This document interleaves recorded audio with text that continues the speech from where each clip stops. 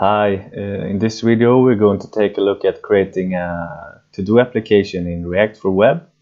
As you can see right here, I'm going to create a simple application where you can add notes like this. And uh, we're also going to take a look at how to delete the notes just by clicking on them like this. And we will not cover how to save the nodes into a database. We will only work with the local state of a React component. And also I'm gonna keep the code here and I'm gonna keep, keep the browser here all the time so you can see the changes in real time. And I'm just gonna go ahead and uh, open up a new project I just created, just a blank new project. I created the project with the create react app command so if you haven't created a new project yet, go ahead and do that. This video is going to be two parts. First part, we're going to create the actual layout. It's a really simple layout. We'll go pretty fast. In the second part, we're going to take a look at uh, the actual log logic for adding nodes and deleting nodes. So let's get started. Go ahead and open up app.js in the source folder we can start by deleting the logo because we're not going to use that. We can, however, keep the CSS because we are going to use that. And you can delete everything within the main div in the return function. We can keep this div here and just rename the class name to uh, container. And we will create the actual layout first, layout for everything. And when that's done, we're going to add the CSS. Um, so don't worry, we will add the styling in just a couple of minutes. Now the first thing we're gonna do, we're gonna want to add a header. So create a div with give it a class name of header, and we can call it uh, React to do application.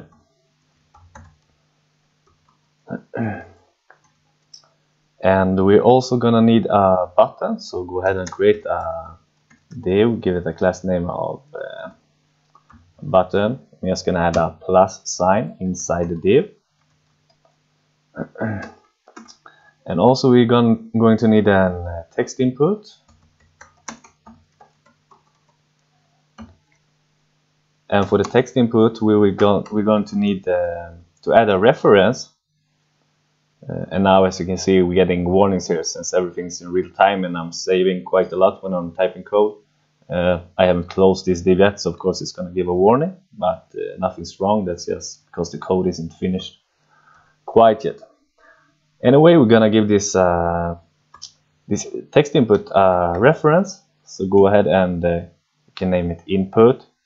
We're gonna use an ES6 arrow function to not lose context of this and uh, we're gonna um, call it uh, we can call it text input and it's gonna be equal to this input. Just gonna close the div off so the warning disappears. So that's it. So what this ref uh, attribute actually let us do is uh, uh manipulate this uh, DOM, DOM element from within uh, React with the name text input. So it, it's a really simple way to edit DOM elements, uh, like deleting them or changing them or whatever you want to do. now the next thing we're going to do before we do anything more with the layout is we're going to create the constructor for the app component. So go ahead and create a new constructor, toss in the props. Oops,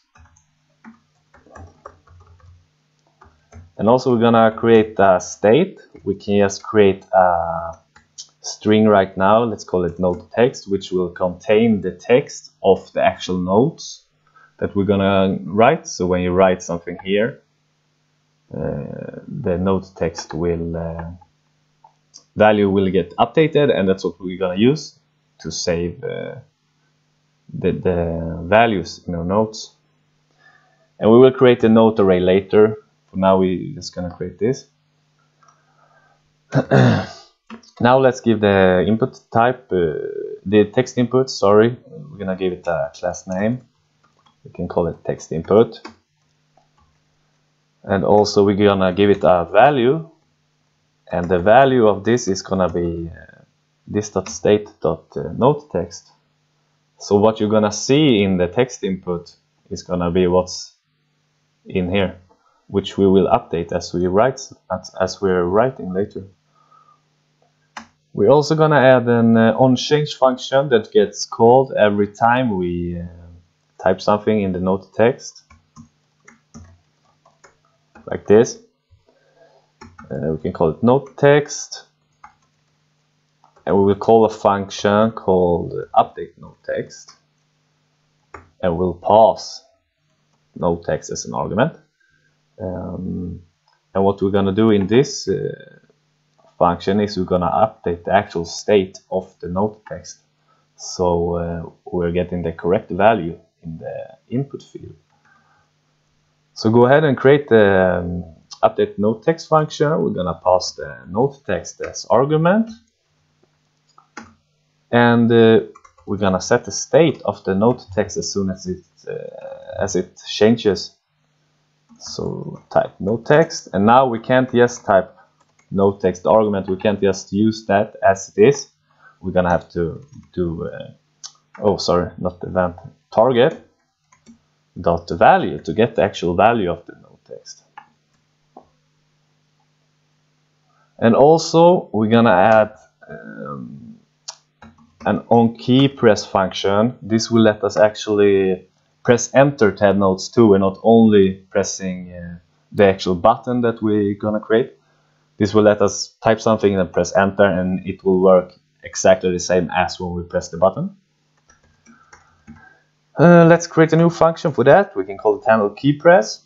I'm gonna use the bind this to not lose context. And let's create the handle key press function. We can just uh, do like this. We can pass the event as the argument. Do it an arrow function. Um, and for now we can just check if event dot key um, equals to enter then we want to continue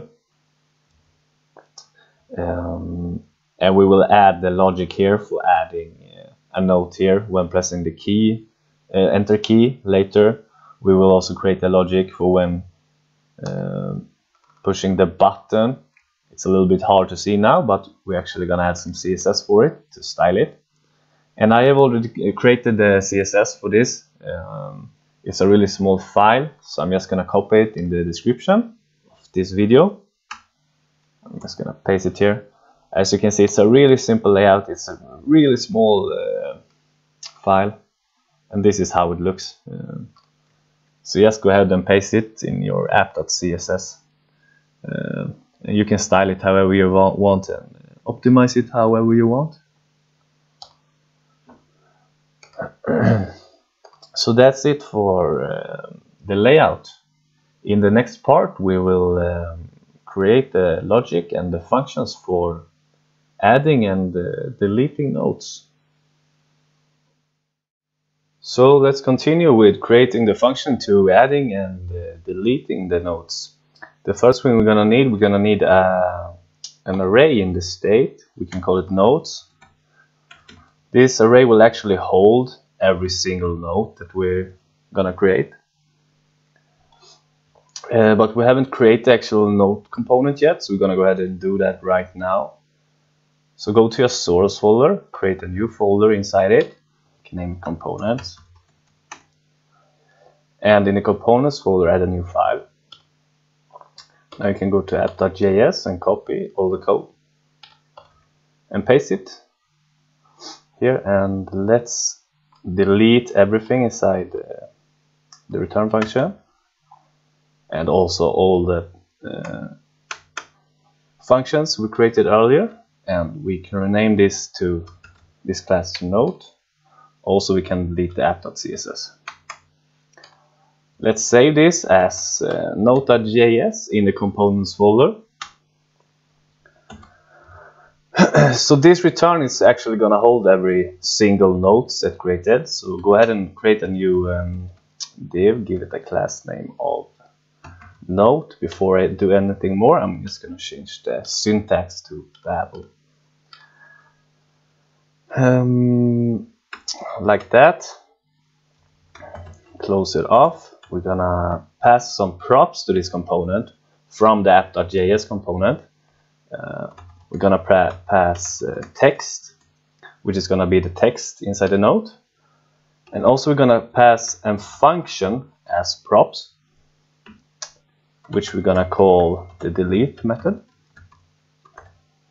which we will actually use for deleting a node when clicking on the node. So save the node.js file. And uh, let's open up app.js go ahead and import the node we just created. So import node from uh, in this folder in the components slash node so now we actually got the node component ready to work with and we got the notes array ready to fill up with nodes. What we're gonna do now is we're gonna start by uh, creating a map for all the nodes so we can display all nodes.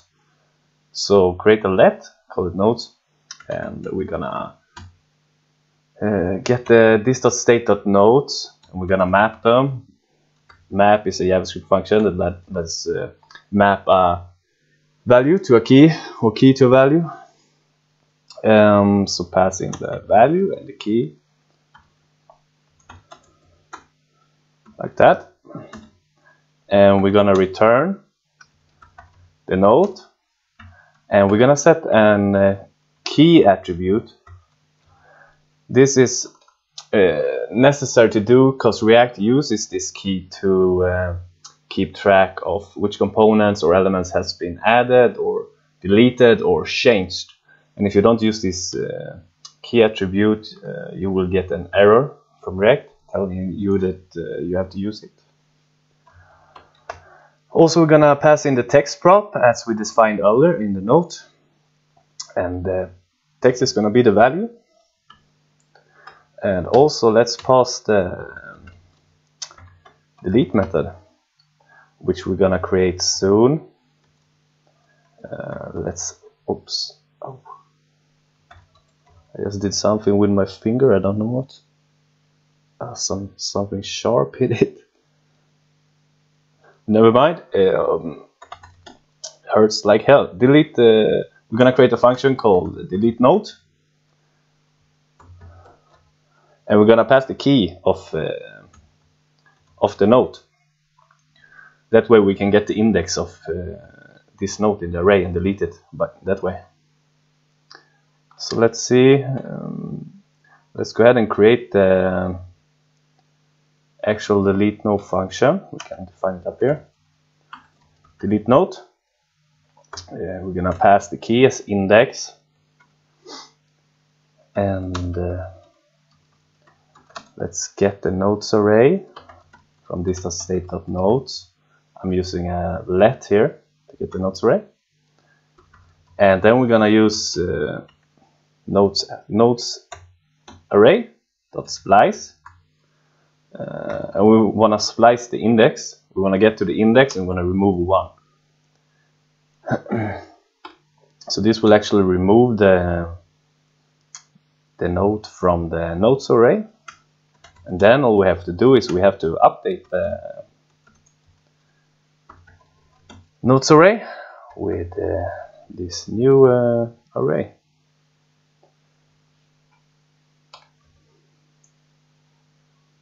So that's it. We can actually delete a node now, but we can't actually still add a node. So let's go ahead and uh, create a function to add a node. First thing we can do, we can add an on-click fun uh, function to the button. We can just call the function add node, like that.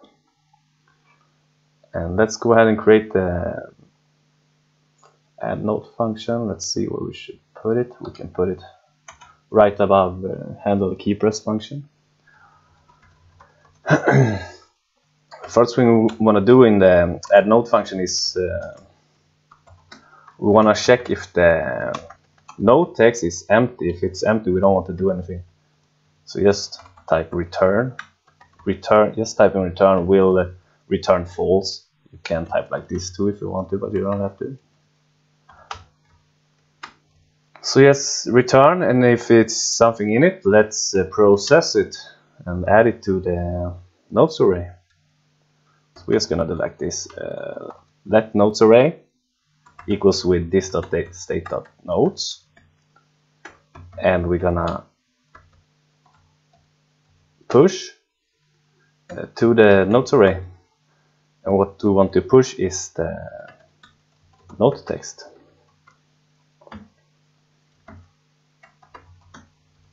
And also what we're gonna do is we're gonna set reset the state of the note text to empty because we have already added a note. And we have when we have added a note, we want to be able to add another one.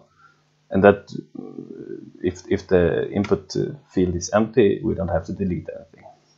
And also now we're gonna use the reference to refocus the the input field after it has been added.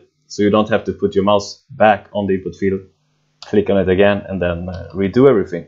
And this is the text input we set uh, uh, in the previous part, the reference called text input. So now we, now we can just tell React to uh, focus on the text input right after a node has been added. So let's see, this should actually mean we should be able to add nodes, but we're not displaying them anywhere yet. So let's just go here and add it under the header. We can just do like this. Nodes, which is the mapped nodes right there. So let's try to add something. Oh, I can't actually type anything. Let's see what's wrong. Let's see, on change text. We're calling the update node text right there. And we set in the state of no text to node text target value, which is correct. However, we're not getting the correct value. Let's see what could be wrong here. Let's try to do like this. Console.log uh, this is state of node text. And we can check in the console what happens when we write something. Oh, we got an unknown event handler. Oh, that's why.